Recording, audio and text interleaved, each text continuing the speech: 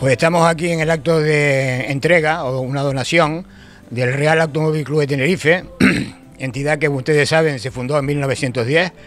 y se trata de una investigación de una colección de un socio, de don Jorge Naval, que hemos trasladado a la Casa de la Cultura para que permanezca en, como un archivo del automóvil desde los años mm, 1910 hasta los años 60 y que sirva como cultura y exponente de la gran afición que ha habido en Tenerife por los vehículos antiguos. Lo que queremos es que mm, estos archivos no se pierdan y permanezcan custodiados y expuestos en el Archivo Histórico de Canarias para que sirva para toda la sociedad. A su vez, el Automóvil Club de Tenerife, que fue fundado en 1910, dispone de una serie de libros relacionados con el automóvil que vamos a entregar al, gobierno de Canarias para que a su vez lo distribuya entre todos los centros culturales y bibliotecas del archipiélago.